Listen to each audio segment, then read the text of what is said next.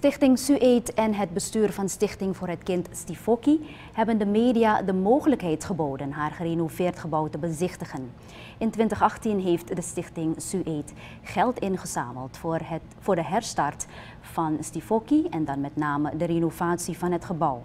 Bisschop Karel Tjuni, voorzitter van het Stifoki-bestuur, begeleidde de media door het gebouw. Recreatieruimten en kamers zijn opgeknapt in fleurige kleuren. Dit moet het nieuwe thuis voor kinderen met een trauma zijn die voor het tehuis worden opgevangen. Die door het tehuis worden opgevangen. De bisschop gaf aan dat hij blij is met de fysieke oplevering en dat alles er fris, fleurig en netjes eruit ziet. Nog gordijnen en bedden, dan is alles compleet, zei de bisschop lachend. Maar ik denk dat um, voor jongens die van een andere locatie, omdat je ze echt moeilijk kan scheiden van elkaar.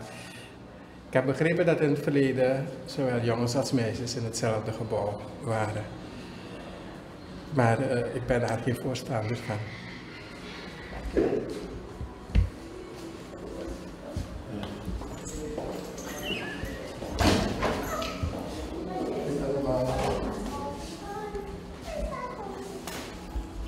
Alles is nieuw, netjes en schoon.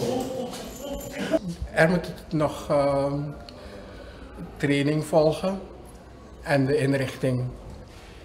Uh, we hopen begin uh, volgend jaar te starten. En het personeel heeft u al? We hebben dus de drie Nigeriaanse zusters en de sociale zaken heeft de toezegging gedaan van personeel, maatschappelijk werkers. En die mensen die al hier voorin gewerkt hebben, hoe staat het met hun? Daar, Daar is uh, bij de sluiting hebben ze allemaal uh, elders employ gevonden. Bisschop Karel Tjuni, voorzitter van het bestuur van de Stichting voor het Kind. Hij heeft gisteren leden van de media een rondleiding gegeven in het gerenoveerd gebouw van de stichting. De renovatiewerkzaamheden zijn op 1 mei begonnen en hebben pakweg zeven maanden geduurd.